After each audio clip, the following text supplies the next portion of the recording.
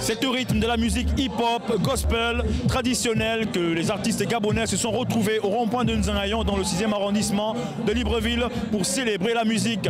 Une célébration après deux ans marquée par la Covid-19. Ça nous a vraiment manqué. Franchement, je dis merci Culture. Après deux ans de Corona, ça fait plaisir. Je suis vraiment émue parce que ça faisait longtemps depuis le confinement qu'on n'avait pas eu ce genre de spectacle. Pour Garcin, Arnold Jude, Domboula et les autres, l'organisation est de taille et la fête est belle ici dans le 6e arrondissement de Libreville. C'est ma fête, euh, je dois leur montrer une poussée de 58 tonnes.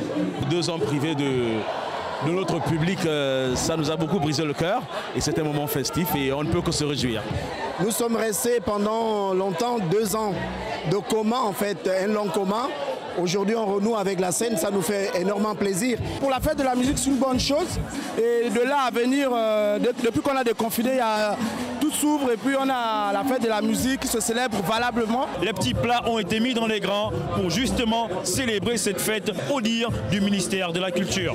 Les artistes en avaient besoin, la culture avait besoin de revivre. Et franchement, nous sommes heureux d'avoir organisé cette fête.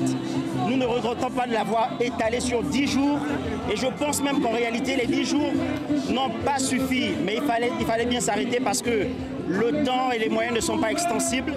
La fête de la musique édition 2022 a été largement célébrée au Gabon, à Libreville, comme dans toutes les neuf provinces du pays. Musiciens, populations et autorités ont su vibrer autour de cette fête et surtout pour que la fête soit belle. Le rendez-vous est donc prêt pour l'année prochaine.